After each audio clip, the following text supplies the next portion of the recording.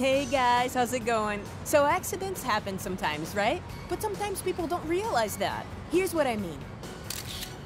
Oh, I can't believe it. Where did I put my keys? I can't believe that I lost it. Oh, oh, oh, whoops. Uh, excuse me, sir.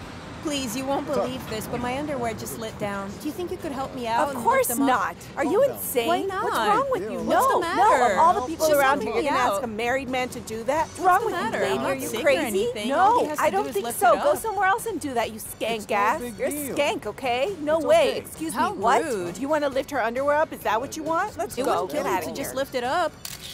Now I wonder where I put my keys. I can't believe this. Oh my god. Oh, it fell. Uh, excuse me, sir. Can you help me, please? My underwear fell down.